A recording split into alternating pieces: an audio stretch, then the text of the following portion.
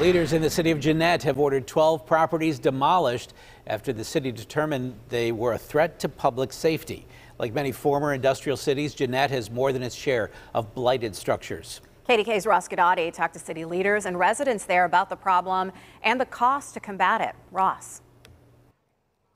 Yeah, we're talking primarily about the southern, southern part of Jeannette, and it's not the only place with blighted or potentially dangerous properties for the people who live here. But city leaders say this is just a start, and there is a long list of residents, buildings, homes that are set to meet the wrecking ball.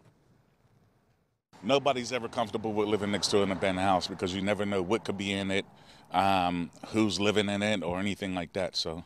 And if there's anyone who should know this, it's Lewis Calloway. He lives next door to a home with a hole in its roof and trees growing out of it with no hope of redemption rodents, um, just like raccoons. I seen mice in the back and everything like that. So it's just it's a problem. Some of these abandoned houses got to go. They got to go. Fortunately for Mr. Calloway, this derelict home on South 11th Street is going to go. It is one of 12 the city gave the order to knock down. The buildings are already derelict and dilapidated and have structural issues. Properties that we know have been outright abandoned or the owners are deceased and there's no next of kin.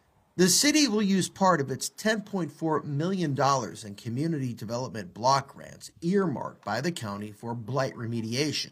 Our goal is to get at least 50 and as many as 100 properties with this funding. The problem of blighted buildings reared its ugly head recently when two vacant homes were the target of suspicious fires.